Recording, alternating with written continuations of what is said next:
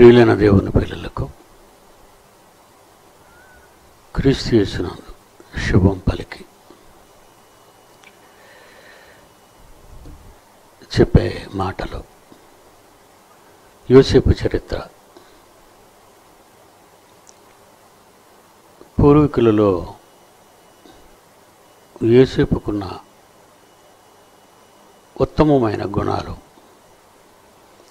భక్తి సంబంధమైన ఆలోచనలు.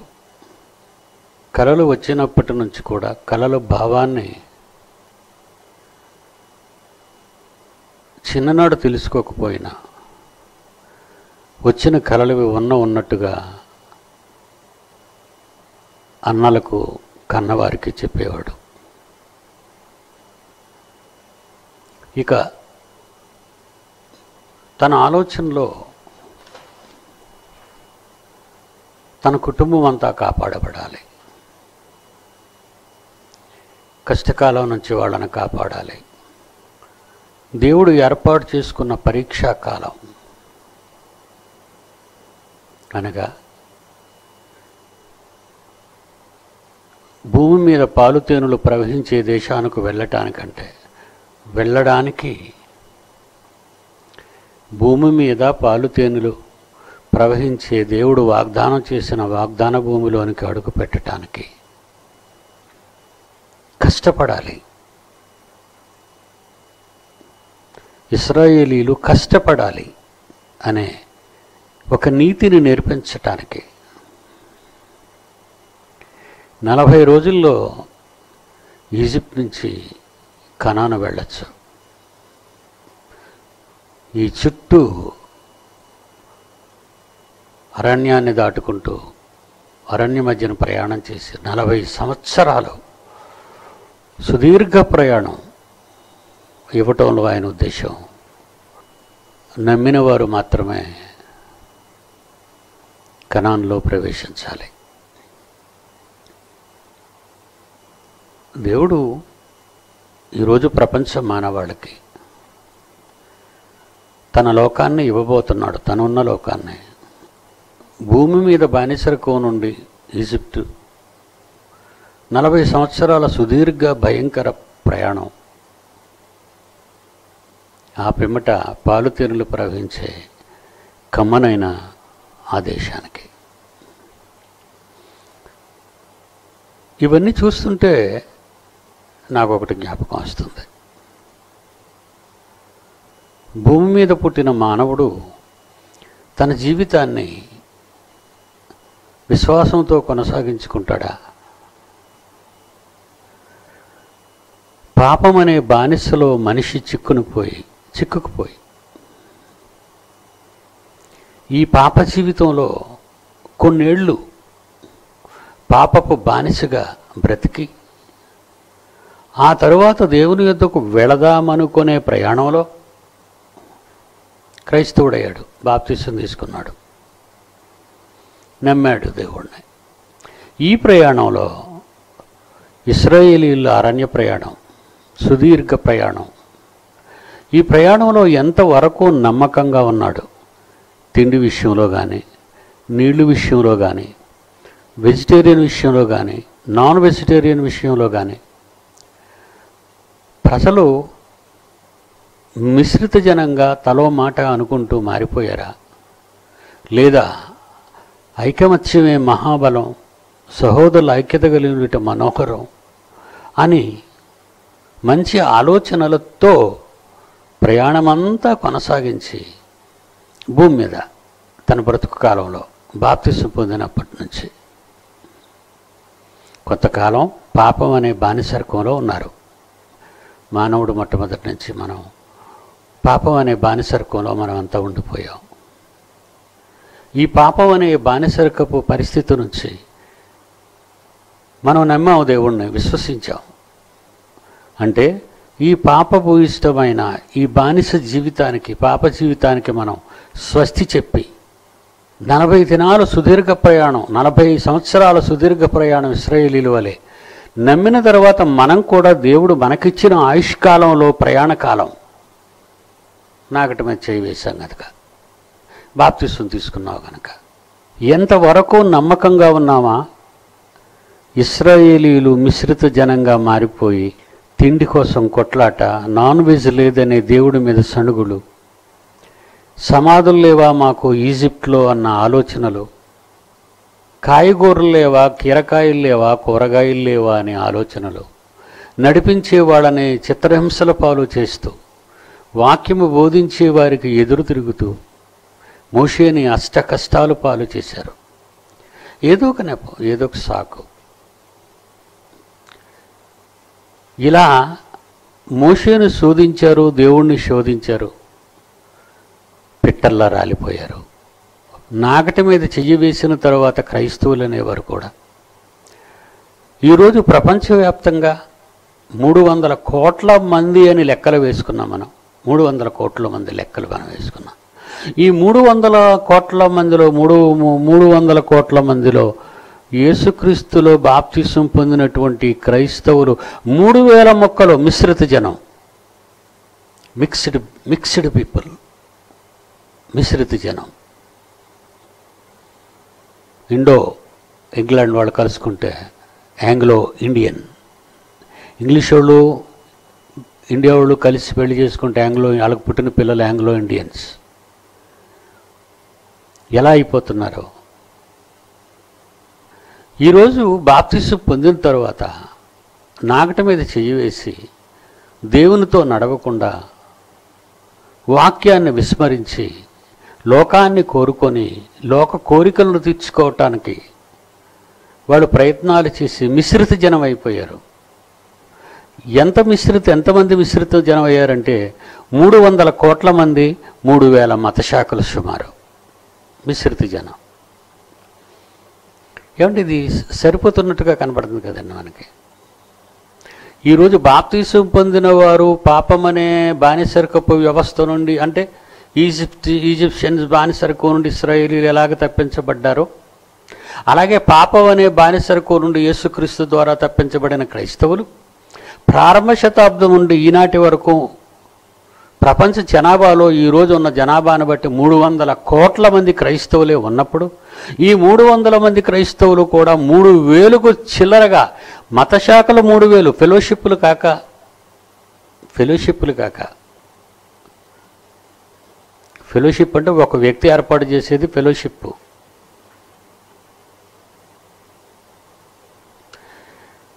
మూడు వేలు మతశాఖలు డినామినేషన్స్ మిశ్రితం. కొన్ని వేలు ఫెలోషిప్లు అయిపోయాయి మరి వీళ్ళు కూడా మిశ్రిత జనం అయిపోయారు వీళ్ళు కూడా ఆరాటపడుతున్నది నాన్ వెజ్ వెజ్ డబ్బు ఆనందాలు సుఖాలు సంపాదనలు దోచుకోవటాలు.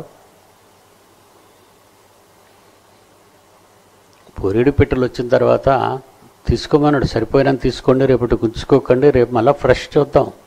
ఫ్రెష్ మీకు ఇస్తాను. మీరు మళ్ళీ కుళ్ళు పెట్టుకొని తినడం అలవాటు చేసుకుంటే కుడబెట్టుకున్నారు ఎత్తిపెట్టుకొని కుడబెట్టుకున్నారు. కంపు పురుగు పట్టేసింది. వాళ్ళ నోటి నిండా పురుగు పట్టేసింది. నోట్లో ఉండిపోయింది అలిసిపోయి తినలేక అలిసిపోయి అలాగే ఎంగిలితోనే పడుకుండిపోయారు ప్రియులరా ఆనాడు ఇస్రాయేలీల పరిస్థితి మిశ్రిత జనంగా ఈ రోజున్న క్రీస్తును నమ్మిన క్రైస్తవుల పరిస్థితి మిశ్రిత జనంగా వేల మతశాఖలుగా మారిపోయిన ఈ క్రైస్తవులు పరలోకానికి ఎంతమంది వెళ్తారు? పాలు తేనులు ప్రవహించే భూమి మీద దేశానికి వెళ్ళటానికే ఈజిప్ట్లో బయలుదేరినటువంటి సుమారు పదహారు లక్షల మంది అండి. పిల్లలు ముసలోళ్ళు అందరూ కలిపి కాల్బలం ఆరు లక్షలైనా నడిచేవాళ్ళు ఆరు లక్షలైనా. సుమారు ల్యాక్స్ ఆఫ్ పీపుల్ బయలుదేరారు ఈజిప్ట్ నుంచి. అక్కడ సంపాదించుకున్నవన్నీ పట్టుకొని బయలుదేరారు. అక్కడే పాలు తేనెలు ప్రవహిస్తే మళ్ళా అంత అవసరమా బరువు మోయటం దేవుని పిల్లలారా ఇటు క్రైస్తవులకి ఆనాటి ఇస్రాయిలీల గురించి మనం ఆలోచిస్తుంటే రెండు తెగలు ఒక్కలాగే కనిపిస్తున్నాయి చూడండి. పాపం అనే బానిసర్కవు నుండి విడిపించడానికి క్రీస్తు నాయకుడిగా వచ్చాడు. ఐగుప్తీయులు బానిసర్కం నుండి విడిపించడానికి మోషే నాయకుడిగా పుట్టాడు. ఆ నాయకత్వంలో వాళ్ళు నాలుగు వందల ముప్పై ఏళ్ళ తర్వాత బయటకు వచ్చారు ఈ నాయకత్వంలో మనం. మన జీవిత కాలంలో తొలి రోజులన్నీ విడిచిపెట్టేసుకున్నాం దేవుణ్ణి తెలుసుకోకుండా. ఏదో ఒక మధ్యకాలంలో మనం దేవుని గురించి ఎవరి మాటలో విని నేర్చుకున్నాం. దేవునిలో ప్రేరేపితులు అయ్యాం. ఎవరి వాక్యం వినో మనం బాప్తిస్వం తీసుకున్నాం నాగటి మీద చేయి వేసాం వేసినప్పటి నుంచి బాప్తిస్వం తీసుకున్నప్పటి నుంచి ఈవేళ వరకు. బాప్తిస్వం తీసుకున్న వారంతా కూడా అరణ్య ప్రయాణం. బ్రతుకు ప్రయాణం అంటాను ఇప్పుడు దీన్ని మనం. క్రైస్తవులు అయితే బ్రతుకు ప్రయాణం ఇస్రాయేల్లో అరణ్య ప్రయాణం. ఈ బ్రతుకు ప్రయాణంలో ఎంతమంది పాలు తేనెలు ప్రవహించే పరలోకానికి చేరుకుంటారు క్రైస్తవులు? ఆలోచించండి. ఐగుప్తులో బయలుదేరిన వారిలో ఇన్ని లక్షల మందిలో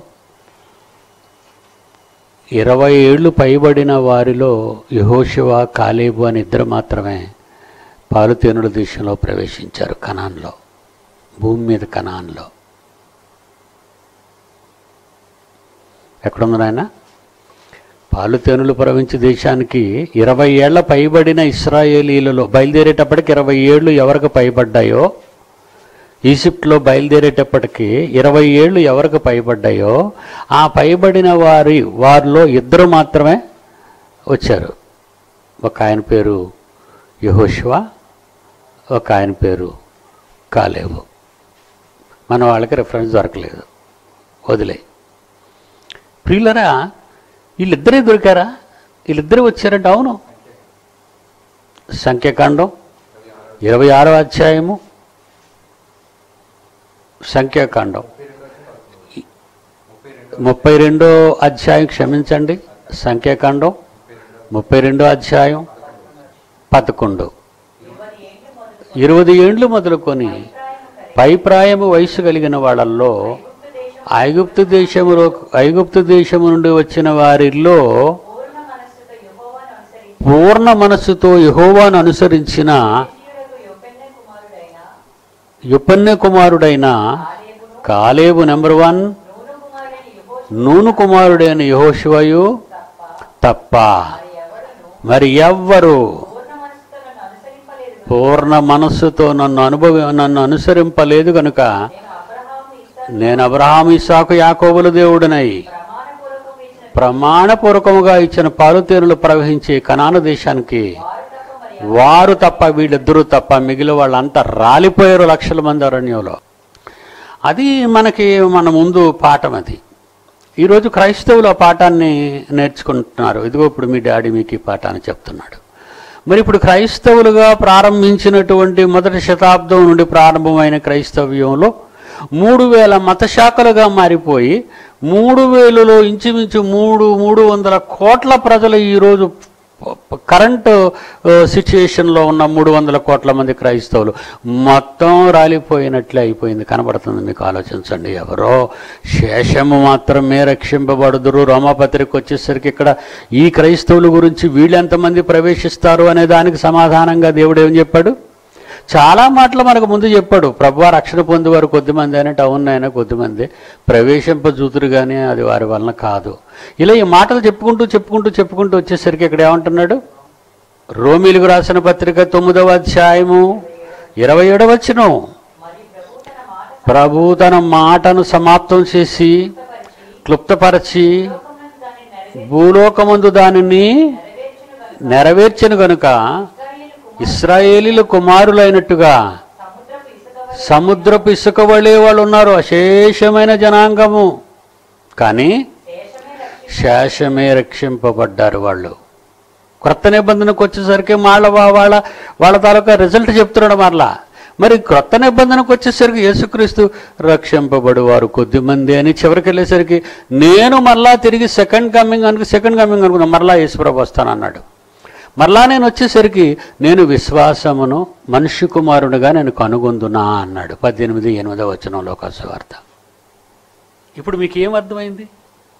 ఇస్రాయేలీల నాలుగు వందల ముప్పై ఏళ్ళ బానిసరికపు వ్యవస్థ నుండి తప్పించబడి నలభై సంవత్సరాల అరణ్య ప్రయాణం చేసినా ఆయన వాగ్దానం చేసిన నేలలోనికి వెళ్ళటానికి ఇద్దరు మాత్రమే ఇరవై ఏళ్ళ పైబడిన వాళ్ళు మిగిలారని మిగతా వాళ్ళు అంత చిన్న పిల్లలైన వాళ్ళు ఏ పాపం తెలియని వాళ్ళు అమాయకులైన వాళ్ళు. ఈ అరణ్యంలో వీళ్ళ మాయలకి వీళ్ళ మోసాలకి మోసపోక వీళ్ళ ఉద్యమాలకి వీళ్ళ తిరుగుబాటుతనానికి వీళ్ళు ఎదురు తిరగడానికి దేవుణ్ణి ఎదిరించటానికి వీళ్ళు అందులో ఉండక చిన్నపిల్లలు కనుక వాళ్ళు వాళ్ళు యహోశివ కాలేవుతో పాటు ఈ పన్నెండు గోత్రాల్లో ఉన్నవాళ్ళు ఇస్రాయేల్ పనా కనా కనాన దేశంలో దేవుడు వాగ్దానం చేసిన దేశంలోకి వెళ్ళారు. ఇది దేవుని సంకల్పం. ఈ దేవుని సంకల్పం ఈరోజు మీ డాడీ సంకల్పంలో అదే మీకు కనబడుతుంది. ఈ సంకల్పంలో శేషం అనే వాళ్ళని దేవుడు నాకు అప్పగించాడు. ఈ శేషం అనే దానిలో దేవుడు నాకు అప్పగించాడు. అప్పగింపబడిన వారు ఎలాంటి వాళ్ళుగా ఉన్నారు? ఉండాలని చదువుకున్నావు ఇందాక? ఇస్రాయేలీలో నుంచి వచ్చిన వాళ్ళలో ఎలాంటి వాళ్ళు ఎలాంటి మనస్తత్వం ఉన్నవాళ్ళు? యెహోషువ కాలేబులో వాళ్ళంటి మనస్తత్వం ఉన్నవాళ్ళు ఎవరని చెప్తున్నాడు అక్కడ? ముప్పై రెండు పదకొండు సంఖ్యాకాండంలో ఇరవై ఏండ్లు మొదలుకొని ప్రాయము పై ప్రాయము కలిగి ఐగుప్తు దేశంలో నుండి వచ్చిన మనుషులలో పూర్ణ మనస్సు పూర్ణ మనస్సు పూర్ణ మనస్సు పూర్ణ మనస్సుతో దేవుడి మీద ఉన్నావా? అటు ఇటు ఇటు అటు ఉన్నావా? నా ఉద్యోగం నా డబ్బులు నా సంపాదన మా అమ్మ మా నాన్న మా చెల్లెలు నా బంధువులు నా ఇల్లు. పూర్ణ మనస్సు కాదేది దేవుడి మీద పూర్ణ మనస్సు కాదు నీ మనసు ఎటు పోయింది? నువ్వు నిజంగా దేవుని గురించే వస్తే తండ్రి పని ఏది అప్పగించినాది నువ్వు చేసే వ్యక్తివై ఉన్నావా? కొన్ని పనులు చేయకపోవటం ఏంటి? కొన్ని పనులు చేయటం ఏంటి? నువ్వు తండ్రిని ప్రేమిస్తున్నావా? ప్రేమిస్తే ఆయన ఒక కండిషన్ పెట్టాడు. తన పూర్ణ హృదయముతో తన పూర్ణ వివేకముతో తన పూర్ణ మనస్సుతో తన పూర్ణ బలముతో తన పూర్ణ శక్తితో నీ తండ్రి అయిన దేవుని మొదట ఆరాధింపాలి. ప్రేమలో మొదటి స్థానం ఇవ్వాలి ఆరాధనలో మొదటి స్థానం ఇవ్వాలి నమ్మకంలో మొదటి స్థానం ఇవ్వాలి. ఈ మొదటి స్థానం ఇవ్వకుండా నువ్వు ఎవరో రెండో సెకండ్ పర్సన్కి నువ్వు మనసిచ్చి వాళ్ళతో సంబంధాలు పెట్టుకోదలుచుకొని దేవుని కార్యక్రమాలను పక్కకు విడిచిపెట్టి వచ్చావు అంటే you are not a correct perfect person ఇలాంటి వాళ్ళు ఉంటారండి. ఉన్నారు. నా దగ్గర కూడా ఇలాంటి వాళ్ళు ఉన్నారు. రే నాన్న నువ్వు పలానా చోటుకి వెళ్ళాలిరా. నీకు తెలిసిన వాక్యం. నేను విన్నాను నిన్ను పైకి తీసుకొచ్చాను. ఇప్పుడు నీ అవసరత ఏర్పడింది నువ్వు వెళ్ళాలి. నేను వెళ్ళను. అనే వ్యక్తులు నా ఎదురుగుండా నిలబడినప్పుడు వాళ్ళని చూడగానే దద్దరిల్లిపోయాను. ఏంటి వీళ్ళ మనస్సు ఇలాంటిది? ఇంత నీచ నికృష్టమైన మనస్సా వీళ్ళది? తండ్రి కంటే ఎక్కువ. నీ తండ్రి పని కంటే ఎక్కువ. పోనీ ఎక్కడ ఉంటావు? అని అడిగితే ఇక్కడే ఉంటాను అన్నారు. ఇక్కడేం పని? నువ్వు వెళ్ళవలసింది దేవుని పనికి. నీకు అప్పగించింది దేవుడు పని. నీకు అప్పచెప్ప మన్నది తండ్రి. ఆ తండ్రి బాధ్యతల్ని నెత్తిని పెట్టినప్పుడు నువ్వు వెళ్ళకుండా ఇక్కడే నేను పాగా వేసుకుంటాను అనడం అది నీ పూర్ణ హృదయముతో నీ తండ్రి అయిన నీ తండ్రి అయిన దేవునికి నువ్వు ఇచ్చినటువంటి స్థానం అది. మళ్ళీ చదువునాను ప్లీజ్ రీడ్ ఇట్ మనుష్యులలో ఎలాంటి వాళ్ళు అక్కడికి వెళ్ళారట? పూర్ణ మనస్సుతో. యహోవాను అనుసరించిన కాలేబు. యహోవాను అనుసరించిన వారు. పూర్ణ మనస్సుతో యహోవాను ఆశ్రయించిన వారు. పూర్ణ మనస్సుతో యహోవాను ఆశ్రయించిన వారు. యోన వెళ్ళలేదు. పూర్ణ మనస్సుతో యహోవాను ఆశ్రయించిన వాడు కాదు. కానీ వెళ్ళవలసిన అవసరత ఉంది ఆ రోజు లేముంది యోన వెళ్ళాలి వాడికి వెళ్ళే మనసు ఉంది కానీ వాడు దేవుడి మీద కొంచెం కోపగించుకున్నాడు దేవుడు అలాగే కోపడతారు మళ్ళీ ఏదో మళ్ళీ అటే ఆయన కోపడ్డాడంటే ఏదో పని చేశారనే మనసు యోనాకుంది. కానీ దేవుడు మాత్రం వాళ్ళంతా నా పిల్లలే కదా ఒరే కోపడతాను రా కానీ వాళ్ళు కాపాడుకోవాలి కదా నా పిల్లలని దేవుని మనసు. అంత దూరం ఆలోచించలేని యోనా తొందరపడ్డాడు. తప్పించుకున్నాడు. కానీ తన పని మీద అవసరం కనుక దేవుడు తప్పనిసరిగా యోనాను పంపించగలిగాడు. దేవుని పని కంటే దేవుని పని ఒకటి నీకు నియమించబడిన తర్వాత దానిని నువ్వు కాలదన్నుకున్నావు అంటే నేను వెళ్ళను అని నువ్వు సమాధానం ఇచ్చావు అంటే నీవు ఎలాంటి వాడవో ఒకసారి నువ్వు ఆలోచించుకొని మనసును పరీక్షించుకో. నీ పూర్ణ హృదయము దేవునికి ఇవ్వని అస అస అ- అసంబద్ధమైన జీవితాన్ని జీవిస్తున్నవాడు. చాలామంది అండి నాగటి మీద చెయ్యి వేసిన తర్వాత నాగటి మీద చెయ్యి వేసిన తర్వాత వెనక్కి తిరగకూడదు. వెనక్కి తిరిగితే చాలా రిస్క్ కూడా వాళ్ళకి అది ప్రస్తుతానికి వాళ్ళు గెటాన్ అయిపోతున్నారని అనుకుంటున్నారు.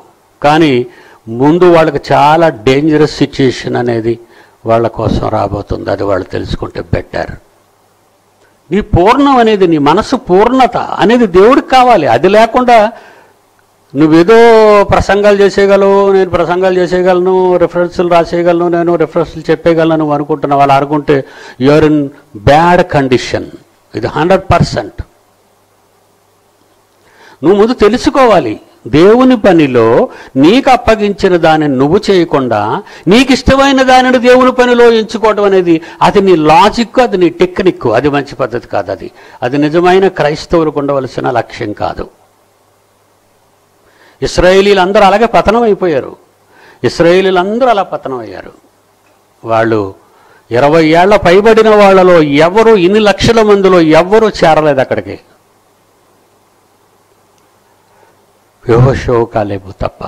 ఈరోజు డాడీ పర్యవేక్షణలో మిగిలిపోయిన మీరు మూడు వందల కోట్ల మంది క్రైస్తవులుగా మూడు వేల మత శాఖలుగా కొన్ని వందల వేలు ఫెలోషిప్లుగా విడిపోయిన ఈ జనం ఈ మిశ్రిత జనం ఈరోజు వీళ్ళు పరలోకానికి వెళతారా? యేసు వచ్చేటప్పటికి తీసుకుని వెళ్ళడానికి మనలందరినీ తీసుకుని వెళ్ళడానికి ఆయన వచ్చేటప్పటికి పద్దెనిమిదో అధ్యాయం ఈ లోకాసు వార్త పద్దెనిమిదో అధ్యాయం ఎనిమిదో వచ్చే చివరి మాటకు వచ్చేసరికి అంటున్నాడు మనుష్య కుమారుడు యేసుక్రీస్తు వచ్చినప్పుడు తీసుకువెళ్ళడానికి మనల్ని. ఆయన భూమి మీద విశ్వాసం ఏ ఒక్కరిలోనైనా విశ్వాసం కనుగొంటాడా? దేవుడే ప్రశ్నించాడు.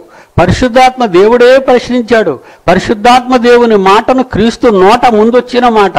క్రీస్తు నోట ముందొచ్చిన మాటే పిమ్మట ప్ర- పరిశుద్ధాత్మ నోట వచ్చిన మాట. లోకగారు రాసేటప్పటికి పరిశుద్ధాత్మ ప్రేరణ ఇచ్చిన మాట యేసుక్రీస్తు మాట్లాడి మాట్లాడి చెప్తున్నప్పుడు యేసు నుండి స్వయంగా వచ్చిన మాట. ఈ మాట తండ్రి నుండి వచ్చిన మొదటి మాట. తండ్రి నుండి వచ్చిన మాట క్రీస్తు నోట వచ్చిన మాట పరిశుద్ధాత్మ దేవుని ద్వారా లూకాగారు రాసిన మాట. ఇదండి మూడు. ఆయన అంటున్నాడు నేను కనుగొంటాను ఆ విశ్వాసాన్ని.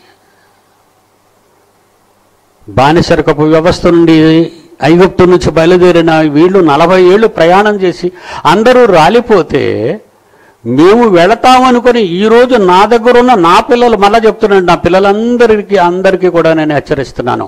మీరు ఒకవేళ ఇలాట మాయలో ఉన్నారా?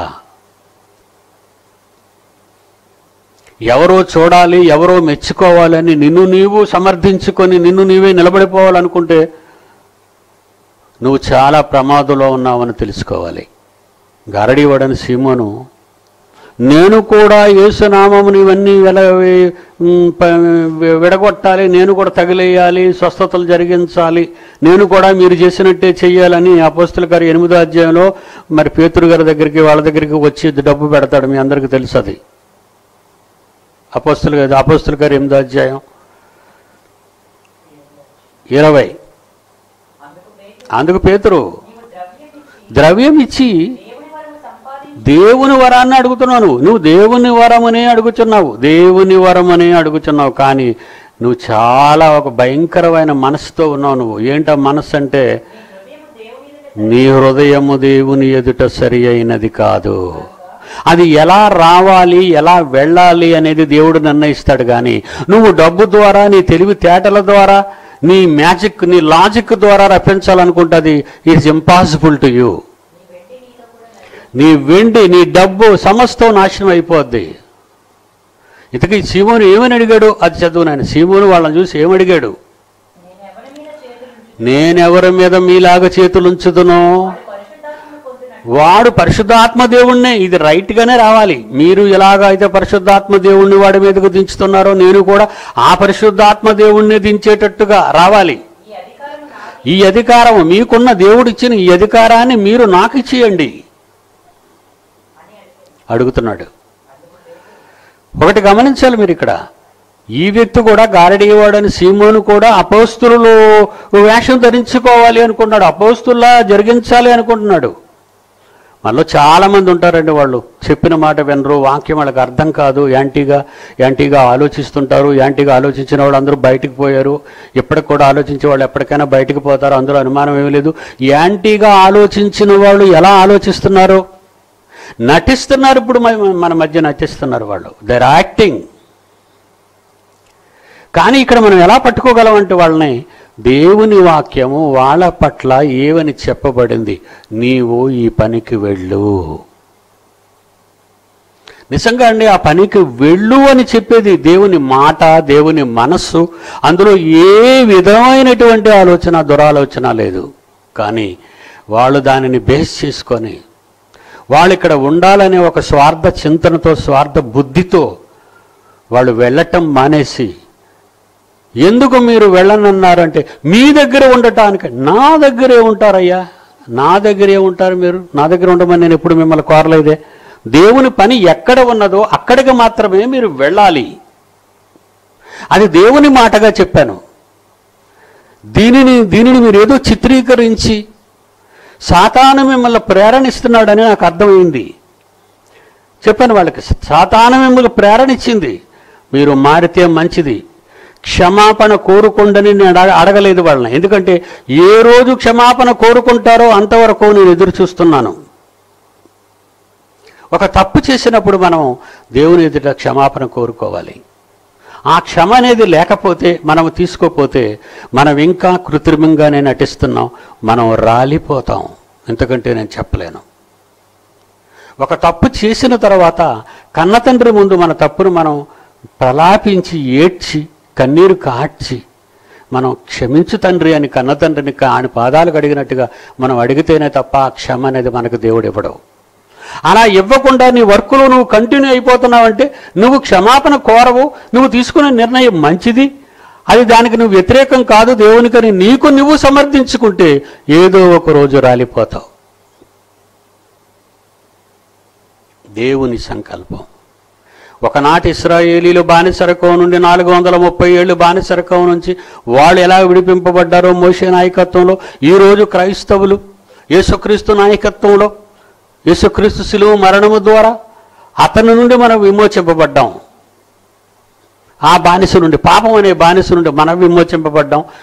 మరి ఈజిప్ట్ బానిసరకు నుండి వాళ్ళు వినిపింపబడ్డారు వాళ్ళ నాయకుడు మోషే అయితే మన నాయకుడు క్రీస్తు. ఇలా మనం విడిపింపబడిన తర్వాత నాకటి మీద చెయ్యి వేసాం బాప్తిసం పొందాం.